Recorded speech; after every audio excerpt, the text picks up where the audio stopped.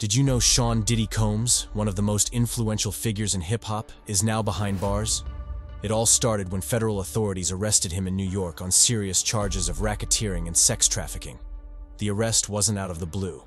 Combs had been under investigation for months, and it all came crashing down after a raid on his homes in Los Angeles and Miami.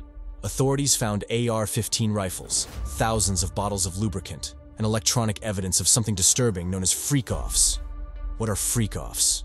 Combs allegedly hosted drug fueled sexual performances involving multiple victims, often coercing them into days long activities.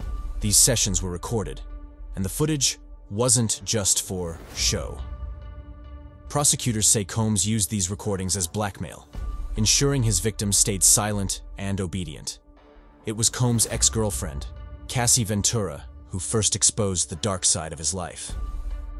In 2023, she filed a lawsuit accusing Combs of years of abuse, including physical assaults and coerced participation in the freak-offs.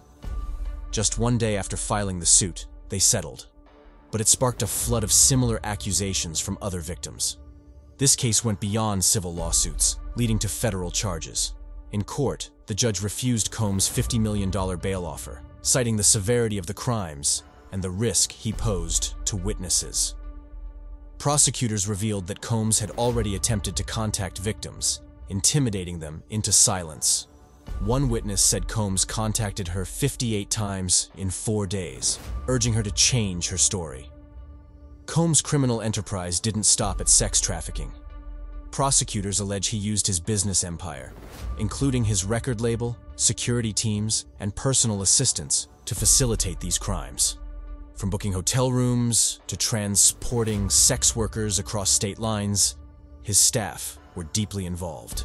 This wasn't just a case of one man's actions, it was a sprawling network of manipulation and control.